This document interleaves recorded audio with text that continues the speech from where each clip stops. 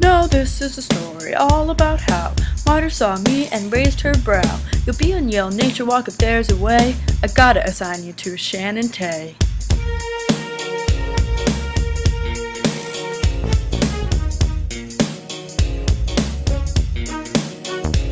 In West New Haven, planted and raised on High Street, where I spent most of my days.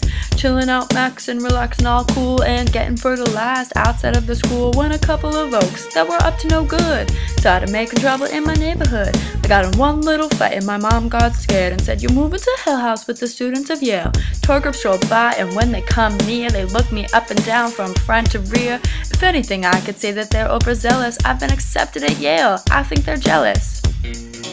Bob came by in the winter about seven or eight, shook their heads as they left and said, Why spring so late? But I looked at my students, they were finally here.